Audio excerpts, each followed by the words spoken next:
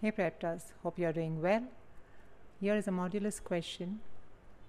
You have mod of 4x minus 4 is equal to 112 and you have to find the positive value of x minus 1. So in the ordinary way guys, what you do is open the modulus sign first thing, right? So modulus of 4x minus 4 will always be positive, but within the mod you can have a positive number or you could have a negative number, right? So then we will expand this, find out possible values of x. So in this case, you'll get 4x is equal to 116, x is 29. And in the other case, you'll get 4x is equal to minus 108 and x is minus 27.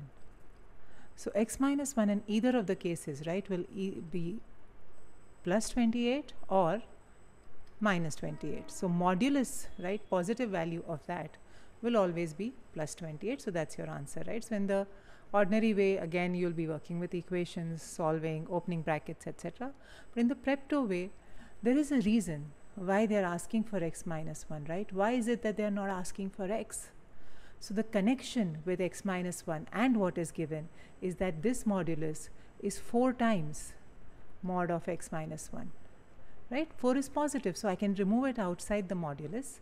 And once I remove it I get 4 times x minus 1 is equal to 112 which means modulus of x minus 1 which is the positive value is 28 so you can see right very quickly just two lines and you have your answer using the Prepto way. Hey guys if you liked our videos subscribe to our YouTube channel. The link is given in the description. See you soon. Take care. Bye bye